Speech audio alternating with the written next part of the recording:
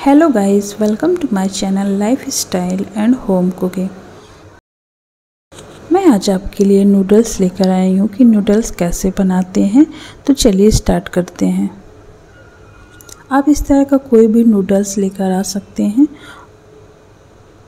अब मैं नूडल्स को उबालूँगी। मैंने एक बर्तन में पानी उबलने रख दिया है। पानी में उबाल आना शुरू हो गई है। अब मैं इसमें, अब मैंने इसमें दो पीसेस नूडल्स डाले हैं। और इसे हम अब उबालेंगे। हमें मीडियम आँच पे इसे उबालना है।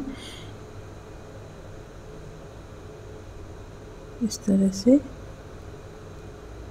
हमें हाई फ्लेम इसलिए नहीं करना है क्योंकि इसमें उफान आएगा और इसका पानी गिर सकता है।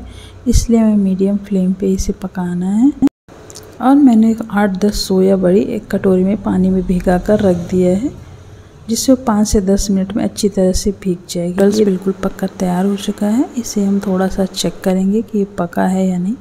बिल्कुल पक चुका है। हम फ्लेम को बंद कर देंगे। अब हम इस तरह की किसी भी छन्नी को लेकर के उसमें नूडल्स डाल करके ठंडे पानी से अच्छी तरह से धो लेंगे। इसको मैंने अच्छी तरह से ठंडे पानी में धुल लिया तो बिल्कुल अब चिपकेगा नहीं।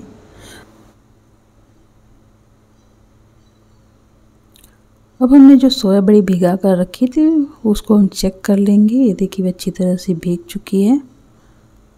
अब इसका पानी अच्छी तरह से निचोड़ कर निकाल देंगे। इस तरह से मैं दबा दबा कर हाथ से प्रेस करके इसका पानी निकाल देना है। और मैंने नूडल्स में डालने की थोड़ी सी पत्ता गोभी, प्याज, ऐसे पतले कटे हुए टमाटर और थोड़ी सी शिमला मिर्च भी इस तरह से पतला काट लेंगे। और मैंने ऑयल लिया है टोमेटो सॉस लिया है। चिली सॉस और सोया सॉस। चलिए बनाते हैं पहले। पहले मैंने थोड़ा सा एक चम्मच तेल डाला है जिसमें मैं थोड़ी सी मूंगफली डालूँगी। मूंगफली से बहुत ही अच्छा टेस्ट आता है। मूंगफली को हम अच्छी तरह से भूनेंगे गोल्डन ब्राउन तक। मूंगफली को हम सबसे लास्ट में ऐड जब ये अच्छी तरह से भुन जाएगी तो हम इसे एक प्लेट में निकाल लेंगे। इस तरह से हमें हमें लो फ्लेम पर इसे भुनना है।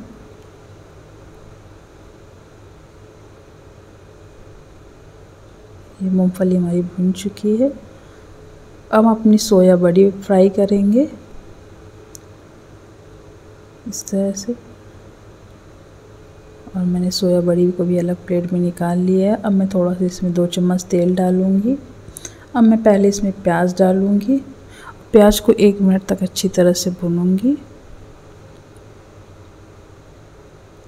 प्याज जब भुन जाएगी अच्छी तरह से, तब मैं इसमें पत्ता गोभी डालूँगी।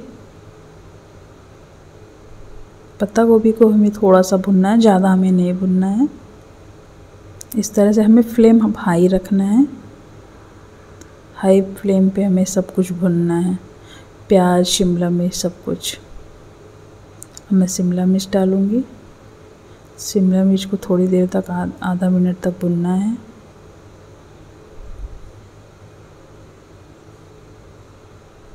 ये हमारे भुन चुके हैं। अब मैं इसमें टमाटर भी डाल दूँगी अपने। टमाटर को भी थोड़ा सा पकाना है हमें। ज़्यादा में नहीं पकाना है, हमें थोड़ा सा क्रंची रखना है। जैसे मार्केट में मिलता है ना।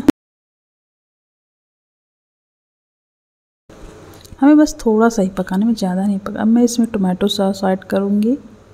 मैं इसमें थोड़ा सा और टोमेटो सॉस डाल दूँगी।